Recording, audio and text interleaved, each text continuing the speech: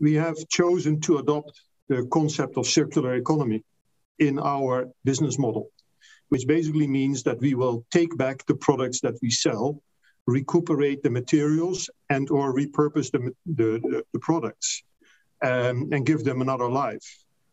To back away from using virgin materials, which are bad for, let's say, the, the scarce resources of Earth.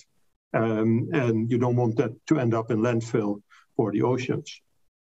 The adoption of circular uh, economy was not easy. Uh, and by now we are approaching 15% of revenue.